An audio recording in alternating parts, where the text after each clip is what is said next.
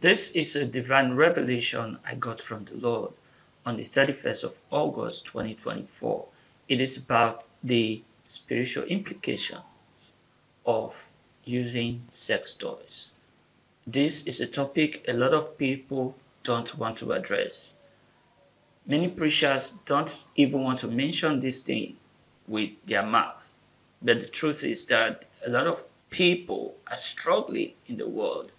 Ignorance is leading a lot of people to destruction and different kinds of spiritual bondages.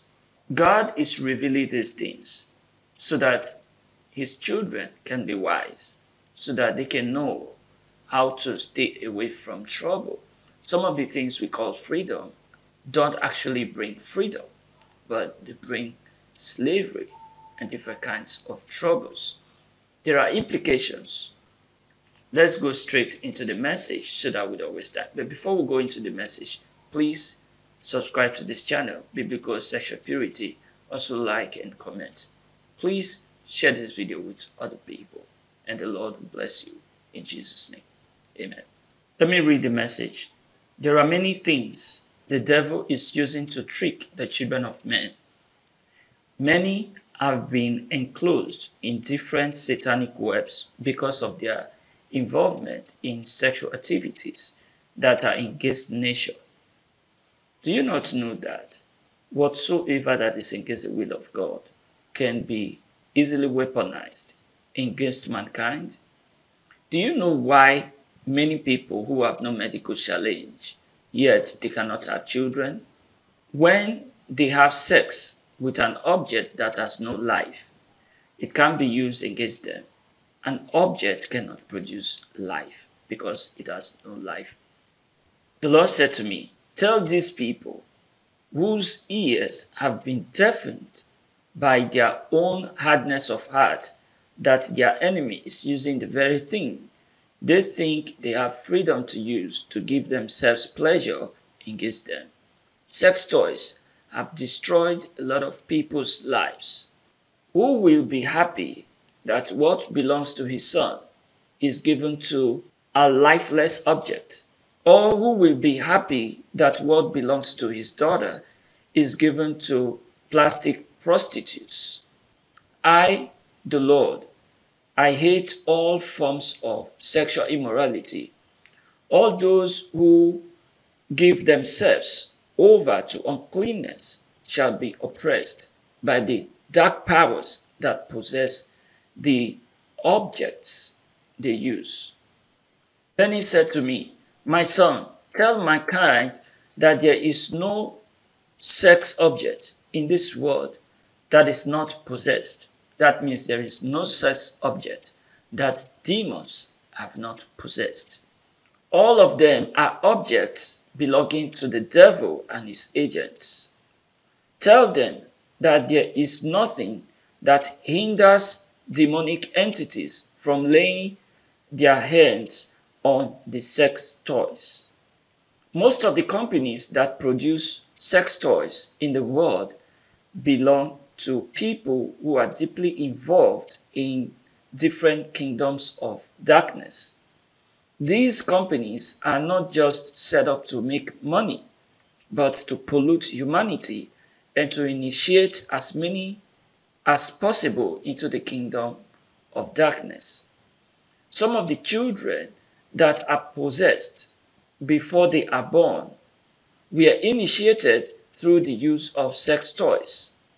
Many sex toys represent the private parts of different demons. Using such sex toys gives the demons whose private parts the sex toys represent access to your life, including making love with you in the dream. Let me explain this. An object can be manipulated in the spirit world to represent another thing. An object can be dedicated to a demon or to an entity in the spirit world.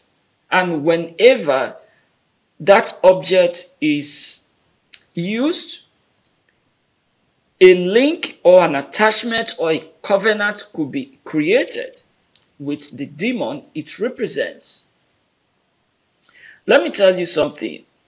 There was a day I was doing a research that was, I think, around 2015. I was doing a research and I downloaded a lot of books. I think that was a period I was listening to Anton LaVey, uh, the founder of the uh, LaVeyan Satanism, the one who wrote uh, the Satanic Bible. So I was downloading some books and doing research. After I finished downloading, I went to bed. I remember my brother was in the house that day in worry. As I was about sleeping, I sensed the presence of demons. Then the Holy Spirit spoke to me. He said, One of the books you downloaded is possessed. Is a book belonging to the kingdom of darkness. It belongs to the kingdom of darkness. That book is possessed. So I went to my computer. I downloaded a lot of PDFs, but he showed me one particular one. He said, This one is possessed. Delete this one. So I deleted it and I cleared it from my recycling bin. There are lots of things that are possessed in this world.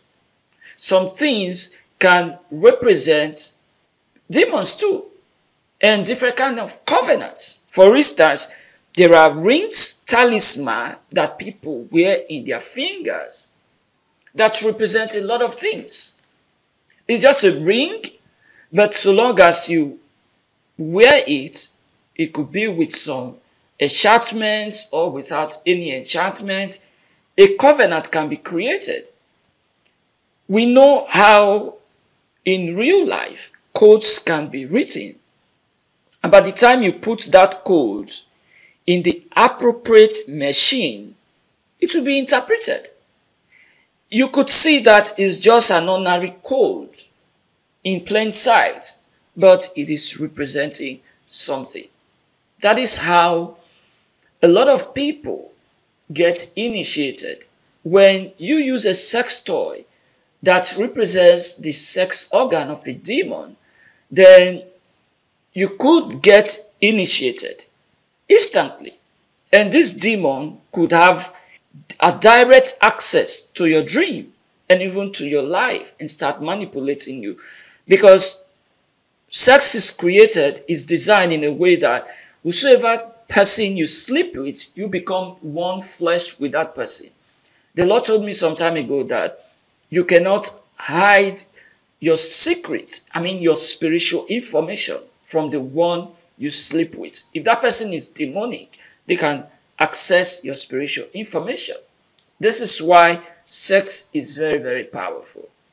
When people use sex toys and they represent the sex organ of a demonic entity, you are equally having a sexual relationship with whatsoever thing that that sex toy represents. And many of these sex toys are produced by, you know definitely that no Christian will set up a company to produce sex toys. They are produced by people who want to destroy this world. Let me let you know there are some entities who are living in this world. They have human flesh, human form. They talk like human beings. Some have earthly parents, some don't have earthly parents. They are in this world doing businesses. And some of you are patronizing their products. Let's be careful. We live in a world that is a battle earth. This is a world that the, devil is trying as much as he can to take as many as possible to the everlasting lake of fire. Let's continue.